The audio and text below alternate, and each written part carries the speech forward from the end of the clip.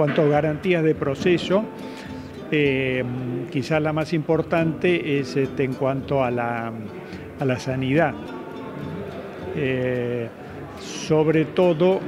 el uso de antibióticos, que cada vez está más controlado. Y también en cuanto al bienestar de los animales, que bueno, este, quizás en la Argentina no parece un tema tan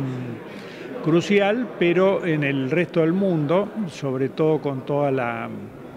como diríamos, la oposición hacia el consumo de carne que proviene de los este,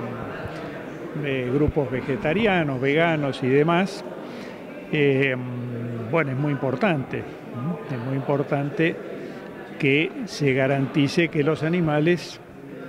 no han sufrido este, innecesariamente o no han sufrido directamente. Que el bienestar animal, así como la trazabilidad, son dos pilares eh, o dos cimientos o columnas de lo que es el, modelo de producción de, carne,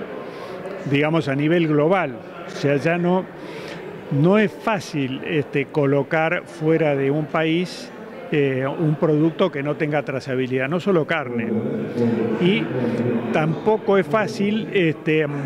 eh, vender proteína animal donde no haya un mínimo de garantías de que no, han sido, eh, no ha sido producida con, con respeto, digamos, del, este, del bienestar de los animales, que no quiere decir que, que no les hacen nada, porque finalmente este, lo faenan, ¿no es cierto? Pero que todo eso debe ser hecho de acuerdo a ciertas normas eh, mínimas que eviten maltratos innecesarios.